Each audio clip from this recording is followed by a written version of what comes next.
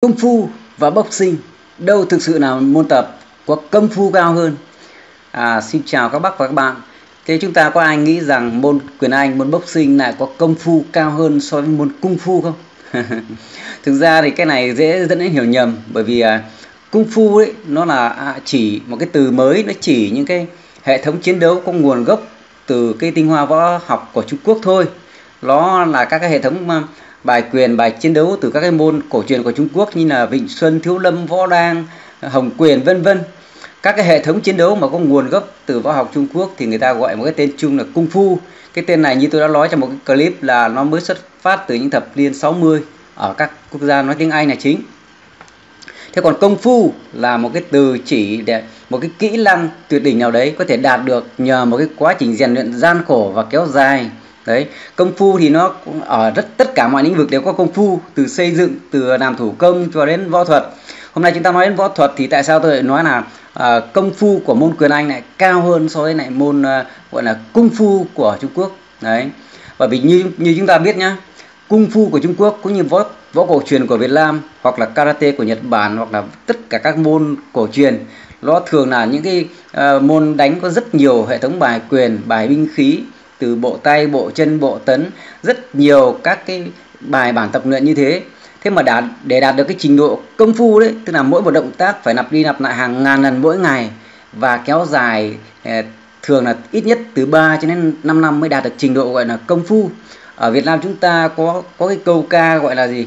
Tam liên tiểu thành mà thập liên đại thành ấy, dành cho các cái môn công phu như là công phu thiết gia trưởng hoặc là công phu, gọi là thiết cước ấy, thì thông thường phải mất từ 3 năm trở ra thì mới gọi là thực sự là, là có thành tựu. Đấy. À, xét trên góc độ đấy thì à, quyền anh nó nó dễ dàng đạt được trình độ công phu hơn là à, các cái môn thuộc về hệ thống chiến đấu của Trung Quốc tức là các môn cung phu đấy. Bởi vì quyền anh ấy thì một ngày các võ sĩ đấm à, rất nhiều lần vào các cái vật như là bao cát như là à, bảng sắt hoặc là những cái à, bao tay đấy. Những cái cái à, à, gọi là đích cầm tay đấy. Đó. Một ngày đấy mỗi tay họ đấm hàng ngàn lần như vậy và cái thời gian dành cho một cú đấm nó rất là nhanh. Chính vì vậy cho nên tần suất cái sự lặp lại của các cú đấm trong quyền anh là rất là nhiều đúng không? Thế tấn của họ đơn giản cho nên là dù là chiến đấu hay là tập luyện thì cái việc lặp lại à, các cái thao tác của họ là rất là nhanh và nhiều đúng không? À, hơn nữa đấy số lượng đòn đánh của quyền anh là có hạn. Điều này lại càng giúp cho cái việc mà gia tăng à, cái cái cái số lần đánh trong cùng một động tác tức là gia tăng cái công phu của người ta cho nên là chính vì vậy cho nên quyền anh là một cái môn đánh gọi là có hiệu quả chiến đấu cao nhất trên đường phố. Bởi vì là trên đường phố thì đánh nhau thì rất ít có người dùng đến đoàn chân chủ yếu là đoàn tay mà thường là chớp nhoáng. Cho nên là một đoàn tay nhanh mạnh và chính xác thì rất là hiệu quả. À, thì hôm nay tôi làm một cái clip vui vui so sánh giữa ờ, uh, cung phu tức là hệ thống chiến đấu theo cái võ học của Trần Trung Hoa và cái cái công phu trong quyền Anh ấy thì đâu thực sự là công phu cao hơn. Thì xét trên góc độ tập luyện và định nghĩa của chữ công phu đúng không? Công phu là kỹ năng tuyệt hảo có được nhờ sự cần cù. Cho nên là à, công phu trong môn đấm bốc môn quyền Anh ấy thực sự cao hơn à, các cái môn mà xuất phát từ hệ thống thống chiến đấu của Trung Quốc tức là công phu rất là nhiều. Bởi vì số lượng động tác ít này tần số lặp lại nhiều này thời gian tập luyện cho một động tác ấy là rất là ít.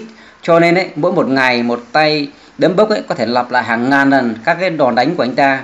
Chính vì vậy mà ờ, khi mà trải qua một một cái quá trình tập luyện lâu dài thì cái lực đánh và cái độ chính xác của các cái vận động viên đấm bốc cực kỳ cao. Chúng ta có thể thấy Mai Tyson chỉ nắc tay một phát mà một vận động viên quyền anh chuyên nghiệp lặng một tạ hai một tạ ba có thể đổ ấp xuống sàn. Thì điều đấy nó cho thấy cái sự lợi hại trong công phu thực sự của môn quyền anh.